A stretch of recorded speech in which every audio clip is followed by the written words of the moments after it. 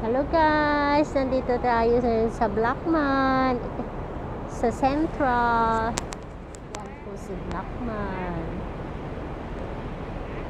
So, malapit naman ang ah, Chinese New Year. Dito po tayo. Ah, may mga fountain po dito.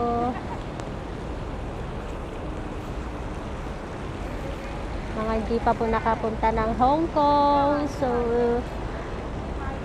ah, parang imagine nyo na lang na nandito kayo ngayon sa Hong Kong. Nandito po tayo ngayon sa Blackman.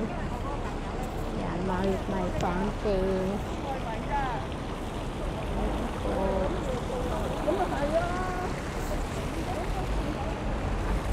Mm. Ito.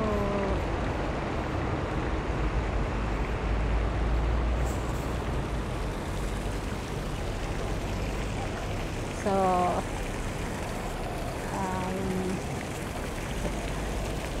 minsan gusto, parang gusto kong, ano, magturo ng Chinese word, Cantonese word. Kasi, alam niyo minsan, napaka-importante, lalo na pag namalengke tayo, minsan yung mga hindi hindi marunong mag-Chinese, ay, mag-English, sorry. 'Di ba? Yung bang ganun. So, pwede naman. So, is, habang tayo naikot, eh, kumbaga, natingin-tingin sa kapaligiran, pwede naman. Like, uh, pwede nating umpisahan po sa numbers. Kasi, numbers, minsan sinusuklian tayo. Minsan di nagkakaintindihan sa palengke. Yung bang ganun. So, ang numbers, let's say, start na lang muna tayo po ng ano, ng 1 to 10. So, minsan kasi iba yung nababasa mo sa ano eh, yung mga books ng translation. Iba yung pagka bigkas at saka pagbasa. So, let's try uh, start with 1 to 10. So, at least maunti-unti man lang ba? 1, this is uh, yat. Yat.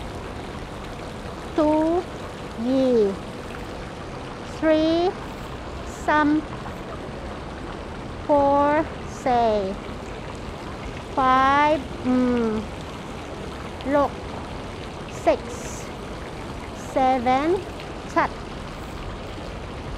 eight, pa, nine, bow, ten, sub, sub. Po. 10 pieces, kumbaga.